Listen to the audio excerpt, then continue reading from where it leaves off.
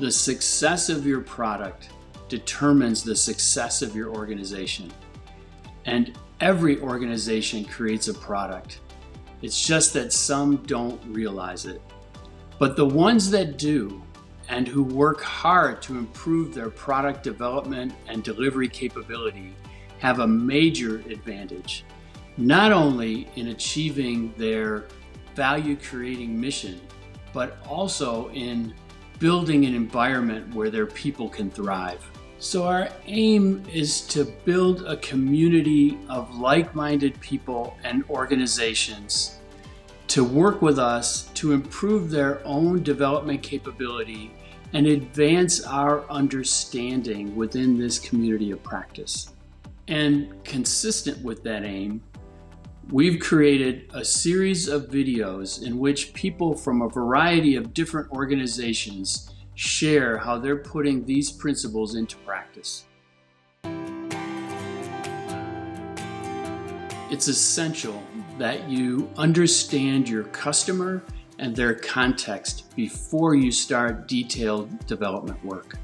And Dave Pericak, Director of Icons at Ford Motor Company, is going to share with us how the Ford team worked relentlessly to understand their customer for the new Bronco, a product that's shattering pre order records. It's extremely important to understand before you execute because when you are designing the next best thing, or in our case, bringing back a legend, you have to put the thought into that process you're, you're trying to create an experience, a lifestyle actually. Getting in touch with this customer again, understanding what they want, figuring out where their pain points are at, and then understanding how to interpret that in the form of a Bronco. It's about stepping back for a moment and really thinking through your design, thinking through all the possibilities, rapid prototyping. We did a ton of rapid prototyping to get the designs where they needed to be. And so it's not about just randomly thinking up ideas of what to do. It's the more deep thinking that goes into that around how it's going to actually play out. How will people use it? How are you going to manufacture it? And when we got it out on the trails, not only did it prove to be everything we wanted it to be at high speed, where the surprise came in was exactly how good it was in the rock crawling. These principles are not just for physical commercial products the clinical design and innovation team from Michigan Medicine talks about how they put this principle to work in designing new clinical processes. We are a team of uh, project managers, industrial engineers, nurses, and uh, business analysts, and we look at specific episodes of care. The study phase and digging deep actually helps with not doing the rework later we get some pushback initially when we're when we're in that study phase. A lot of people just want to jump to solutions. By being more deliberate in our study phase, our programs have seen better uh, sustainment as we've gotten to the end of our program.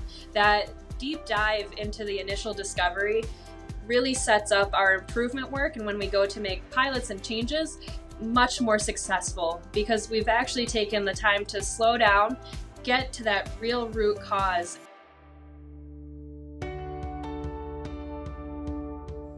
Development is definitely a team sport. Uh, in fact, it might be the ultimate team sport. And LPPD principles and practices help to improve your communication, your coordination, and your decision making. Schilling Robotics, a division of Technip FMC, shares how these practices help them develop one of the most technically advanced complex subsea ROVs in the industry. An ROV that has revolutionized subsea productivity. This is an incredibly uh, technical challenge. We had to learn a lot of new technology, um, but we also had to change the way in which we worked because the technology required the systems to be more highly integrated. We had really reached an asymptote on improvements that we were making in engineering department, and we were looking for ways to reach another level. Obeya is literally the Japanese term for big room, but it means it means so much more than that. There's the visibility of the issues, there's the visibility of the work going on, and and then there's the culture that it creates surrounding actually moving forward in the project. I think the first time that I'd ever seen uh, a technician or a lead from the floor be pulled into one of those meetings pretty early on. And that that feels really good. It really helped close the gap in information and input between ops and engineering. So to have what they're looking at really gives people a chance to see what's coming their way and prepare for it which is really different. It was huge scope huge innovation and huge integration of both our operations and engineering teams. And if we had not used the processes that we did use our ability to get it into production in that time frame, uh, it would have been impossible.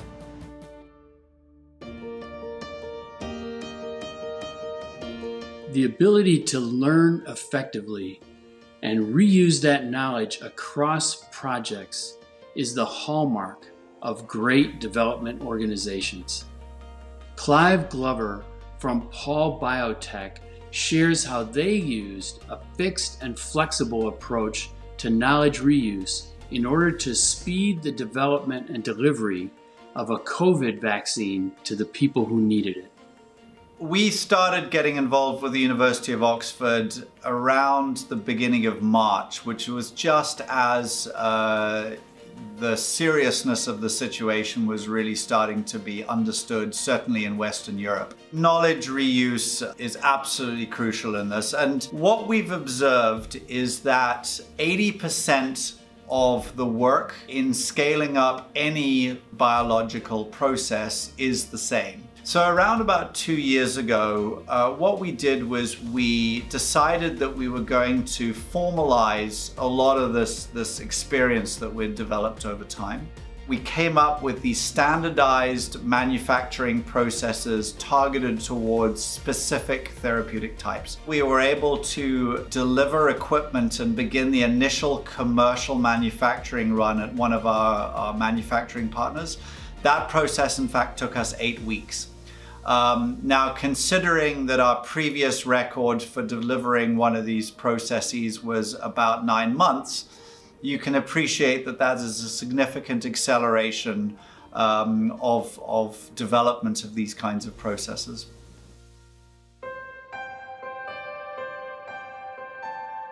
People first, it's a potent and actionable approach to hiring, developing, organizing, and leading people and it's woven throughout the LPPD principles. Alan Mulally, who led historic turnarounds at both Boeing Commercial and Ford Motor Company, talks about what people first means to him. I've learned over the years the essential part of the management system, and it's all about people. That's where the people first comes from. Everybody needs to uh, be included. It's so important to come together around a compelling vision for the product, the strategy for achieving it, then, of course, the relentless implementation plan, which is the business plan review meeting every week. Also, the behaviors.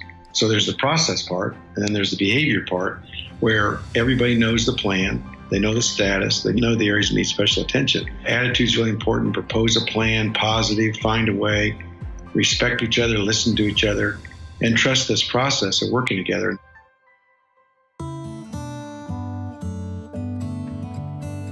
Designing the entire value stream, that is, every step required to deliver value to your customer instead of your product in isolation, is a defining characteristic of LPPD. Jamie Ogborn explains to us how Pella has integrated operational readiness requirements into their development system in order to improve product launch and operational performance. Our original goals for lean product development was we wanted to get a 50% increase in how much product to market we could deliver and a 50% reduction in lead time in that time to market. In fact, we'd far beaten our goals. We'd reduced lead time, but we created a new problem. We had a lot of pain and frustration on the operations side of the business, simply the stuff we were launching, getting it running very well, and helping plan for all those. So ORLs is really a, a countermeasure to some other improvement that we already did. So we developed a list of uh, 24 items that we said, if we get these, it takes care of 90% of our issues. Creating flow is a fundamental lean tenet. And in development, we have to synchronize multiple concurrent workflows from various functional organizations. Allison Seward from GE Appliances tells us how her program organized into fishbone teams in order to synchronize the work of people from across the organization. So, the team that I'm uh, able to lead is a very large group. It's about 50 or so program members, and they encompass nearly every function that we have here. So we're actually structured into what we call fishbone teams, and each fishbone represents an area of the assembly process.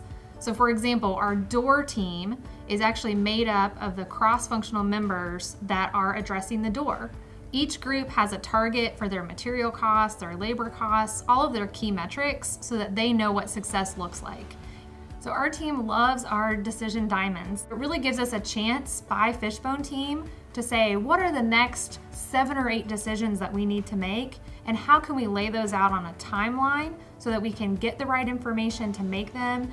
In 2021, we'll be sharing one video for each of the six principles with the full stories from these and other awesome organizations. Thanks for watching.